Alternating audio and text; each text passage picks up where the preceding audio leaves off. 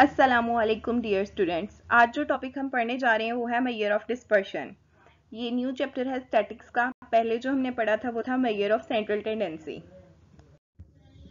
introduction introduction के अंदर सबसे पहले तो हमें पता होना चाहिए डिस्पर्शन क्या है।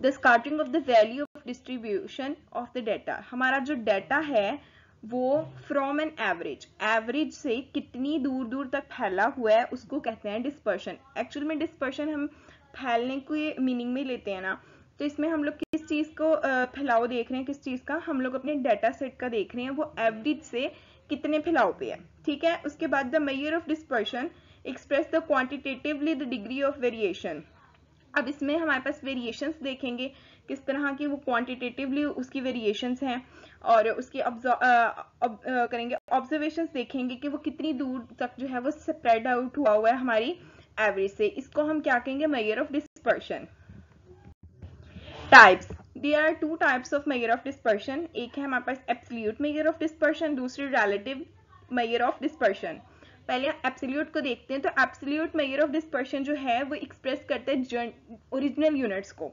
ओरिजिनल यूनिट्स जो है वो डाटा के उनको जो है ये एक्सप्रेस करने के लिए यूज़ होता है। और जो रिलेटिव है वो क्या करते हैं वो कॉफिशियंट ऑफ़ डिप्रेशन डिस्पर्शन की। हमारे पास फॉर एग्ज़ाम्पल आगे हम इसके स्टैटिक टूल्स देखेंगे उसमें हमारे पास होगा रेंज uh, रेंज जो है वो हमारे पास एब्सोल्यूट मेयर ऑफ़ डिस्पर्शन है। लेकिन जो रिलेटिव में आता है कि वो होगा कॉफिशियंट ऑफ़ रेंज ठीक है? ये कॉफिशेंट्स में है। अब कॉफिशेंट्स किस लिए यूज़ किए जाते हैं? ये हमारे पास रेशियो परसेंटेज देते हैं। और रेशियो जो होती है वो दो चीज़ों को कंपेयर कंपेयर करने के लिए यूज़ की जाती है।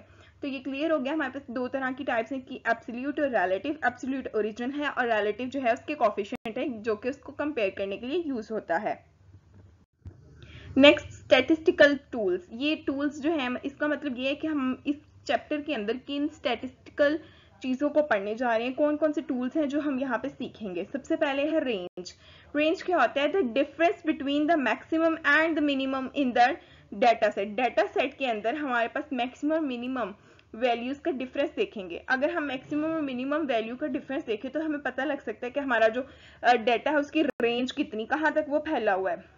फिर है हमारे पास वेरियंस वेरियंस जो है a measure how a data point deviate from the mean mean से जो हमारा कोई भी डाटा का पॉइंट है मतलब कोई भी वो जो है हमारे पास डाटा के अंदर जो ऑब्जर्वेशन दी हुई हैं वो मीन से कितनी दूर है? कोई भी एक वैल्यू ठीक है? इसमें हाई वैल्यू के बारे में वो बता रहे हैं। तो it involve the square of difference between each data point her data point का जो है, उसके डिफरेंस लेंगे, उसके स्क्वेयर का।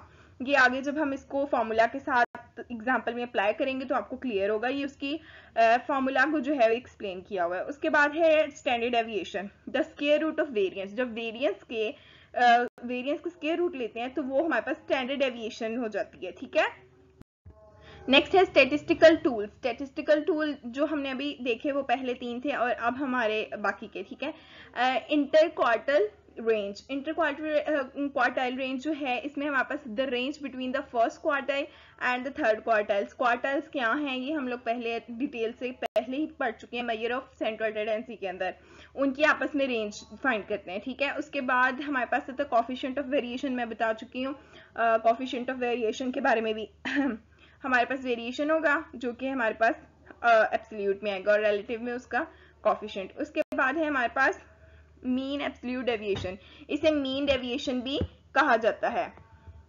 मीन डेविएशन इसका मतलब हमारे पास the average of absolute difference difference between each point point and the mean ठीक है, हमारे पास एवरेज और एब्सोल्यूट एवरेज एब्सोल्यूट डिफरेंस देखना है हमने डाटा पॉइंट और मीन के दरमियान, किसी भी पॉइंट के और मीन के दरमियान का, ठीक है? रेंज अब हम जो रेंज जो है उसे डिटेल में करते हैं, ठीक है? Range The range is the measure of dispersion that quantifies the spread and the variability in the data set. इसको हम जब मैथमेटिकल फॉर्म में कैलकुलेट करेंगे तो वो होगा range is equal to maximum value minus minimum value और maximum value को एक्स एम से डिनोट करेंगे हम और मिनिमम वैल्यू को हम एक्स नोट से. For example if a dataset of a test score for a class and the highest score uh, is 95 and the lowest score is 65 then the range of test score is अगर हमारे पास एक जो data set है उसमें high score जो है वो 95 है और लो स्कोर जो है वो 65 है तो उसको कैसे करेंगे? मिनिमम मैक्सिमम माइनस मिनिमम करेंगे तो वो हमारे पास 30 आंसर आ जाएगा। Next coefficient of variation coefficient of variation की देखें तो coefficient of variation is statistical measure use to express the relative variation ठीक है? अब ये रेलेटिव वेरिएशन को बताएगा क्योंकि दूसरा था एप्सल्यूट और ये है रेलेटिव दोनों को कंपेयर करके आप इस तरह से साथ लेके चलेंगे, आपको ये भी क्लियर होता रहेगा रेलेटिव और एप्सल्यूट क्या है। और कॉफिशियंट रेंज में भी पता लगता रहेगा। उसके बाद हम मैथमेटिकल इसकी एक्सप्रेशन देखते हैं। तो हमारे पास जो रेंज का फॉर्मूला था एक्स एम मतलब मैक्सिमम माइनस मिनिमम वो ऊपर है और इसके नीचे मतलब के नीचे डिवाइड हो रहा है, वो maximum value plus minimum value तो इसको हम R over maximum value plus minimum value भी लिख सकते हैं और इस तरह से भी लिख सकते हैं। नेक्स्ट एग्ज़ाम्पल देख लेते हैं, जिसमें हमने रेंज और उसका कॉफिशेंट uh, फाइंड करना है और ये जो हमारे पास एग्ज़ाम्पल है वो है भी ग्रुप फॉर्म में। तो देखते हैं किस तरह से कैलकुलेट करना है। ग्रुप डाटा में एज क्लास हमने देख ली उसके बाद फ्रिक्वेंसीज देख ली। नेक्स्ट हमारे पास मिड पॉइंट आप सबसे पहले क्लास से मिड पॉइंट फाइंड आउट करेंगे। वो मैं बहुत बार बता चुकी हूँ यहाँ मैंने लिखा भी हुआ है कि मिड पॉइंट किस तरह से फाइंड करते हैं।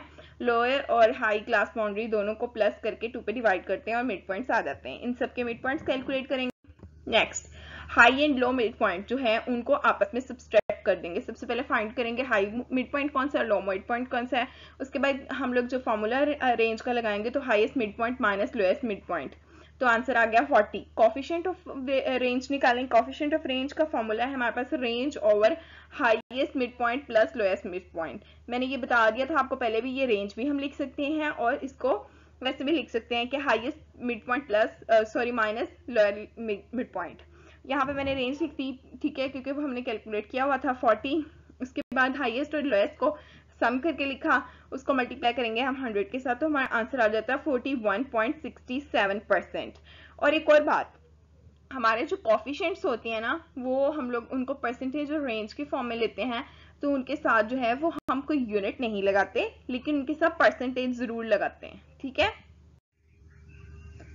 यहाँ पे हमारा लेक्चर ख़त्म होता है। उम्मीद है आपको अच्छे से समझ आ गई होगी हमारे पास रेंज क्या है और मैयर ऑफ़ डिस्पर्शन क्या है। और अगर आपका कोई भी क्वेश्चन है तो आप वो कमेंट बॉक्स में पूछ सकते हैं। And thanks for watching please like and subscribe the channel